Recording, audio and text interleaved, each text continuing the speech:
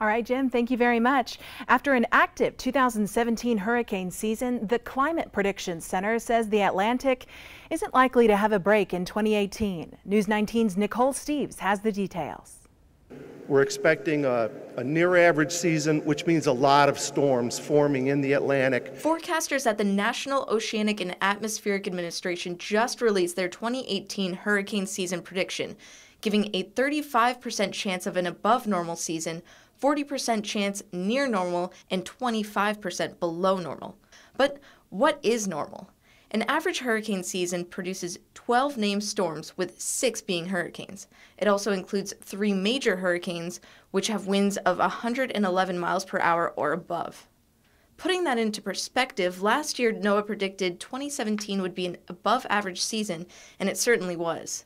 There were 17 named storms, 10 of them being hurricanes, and 6 became major hurricanes. If we put those numbers side by side, 2017 was a little bit more than NOAA had anticipated in terms of major hurricanes, but it was right on the money for named storms. NOAA looks to many climate signals to see if a season will be active, one of them being sea surface temperatures, a driving factor in hurricane development. This year, temperatures have been near average. But with that being said, remember it only takes one single storm to wreak havoc. No matter the number of storms that are forecasted, make sure to have a plan. For News 19, I'm meteorologist Nicole Steves. All right, Nicole, thank you very much.